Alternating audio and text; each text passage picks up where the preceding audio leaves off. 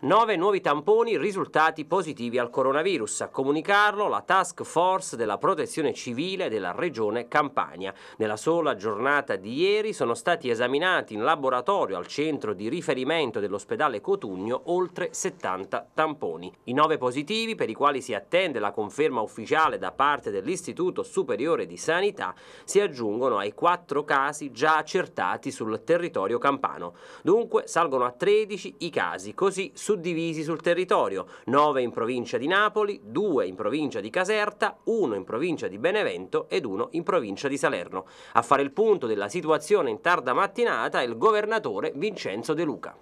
Per quanto riguarda il caso che abbiamo registrato nel Cilento, anche qui si tratta di una paziente di nazionalità ucraina tecnica di laboratorio impegnata nell'ospedale di Cremona dove abbiamo ad oggi credo una ottantina di ricoveri di cittadini contagiati.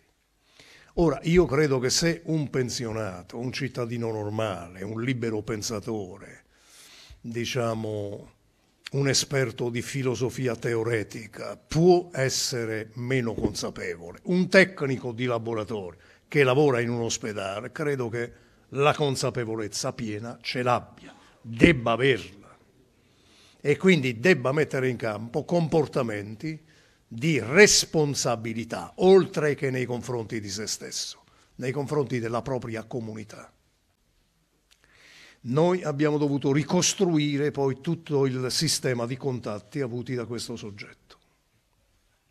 Abbiamo dovuto individuare l'autista del pullman che ha guidato l'autobus fino a Vallo Scalo. I cinque viaggiatori che erano presenti su quel pullman nel viaggio dalla stazione di Salerno a Vallo Scalo. Abbiamo avvertito le ferrovie dello Stato per segnalare la freccia rossa utilizzata dal paziente, la carrozza ferroviaria nella quale era presente la paziente. Abbiamo dovuto ovviamente individuare tutti i familiari. Vi ho spiegato queste cose per farvi qualche esempio, per dirvi semplicemente questo. Primo, spiegarvi nella maniera più semplice possibile qual è il lavoro che poi viene scaricato sui eh, reparti di prevenzione che abbiamo nelle nostre ASL. I responsabili della prevenzione poi hanno il compito di andare a ricostruire la catena, individuare i singoli cittadini, verificare i contatti che ognuno ha avuto, cioè cercare di fare il lavoro di contenimento del contagio. E questo è il lavoro che viene fatto.